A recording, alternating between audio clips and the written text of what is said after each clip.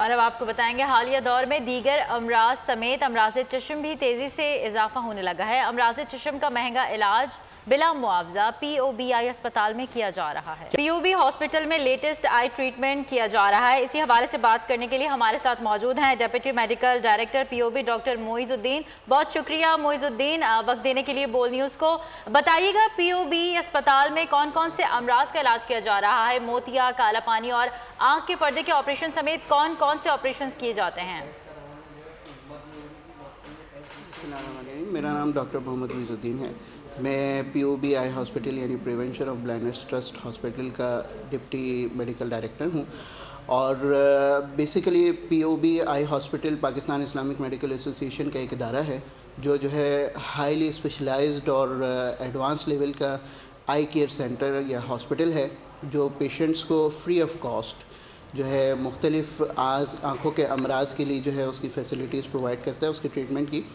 इसमें सबसे अहम जो चीज़ जो हम कर रहे हैं, वो बिल्कुल फ्री ऑफ़ कॉस्ट मोतिए का ऑपरेशन जो शहर भर के मुख्तलिफ़ इदारों, मुख्तलिफ़ इलाक़ों से जो है पेशेंट्स को हम लेकर वहाँ पे कैंप्स करके और बिल्कुल free of cost transportation provide करके और बिल्कुल स्टेट ऑफ़ द आर्ट बहुत ही अच्छे हॉस्पिटल में लाके हम जो है, जो किसी भी किसी भी हाईली एडवांस या आप ये कहें कि प्राइवेट सेटअप में फैसिलिटीज़ अवेलेबल होती है, उसी सेटअप से और उसी स्टैंडर्ड्स को मेंटेन करते हुए हम ये प्रोवाइड कर रहे हैं। इसके अलावा जो है, हम मुख्तलिफ़ पर्दे के ऑपरेशन की और ख़ास तौर से पर्दे के ऑपरेशन में अहम में अहम चीज़ ये होती है कि जो है फ़ौर करना होता है। अगर आपने छः से आठ घंटे के दौरान कर लिया या अगले एक दो हफ़्ते में कर लिया तो उसकी नज़र बच सकती है।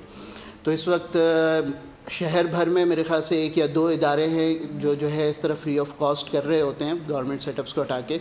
लेकिन वहाँ पे भी तकरीबन दो से छः महीने बाज़ात लाइन चल रही होती है पेशेंट्स की तो उस वक्त तक नज़र ख़त्म हो चुकी होती है। हम जो है यही जो ऑपरेशन हैं, ये रोज़ाना जो है हमने पिछले कोविड के ज़माने में भी इसके तकरीबन 1200 ऑपरेशन हमने फ्री ऑफ़ कॉस्ट किए हैं। और इसमें एक ऑपरेशन में भी कम से कम भी पचास से साठ हज़ार डॉक्टर मुइज ये बताएगा कि अस्पताल में योमिया कितने मरीज़ आते हैं और गुजशत साल के आदाद शुमार क्या हैं?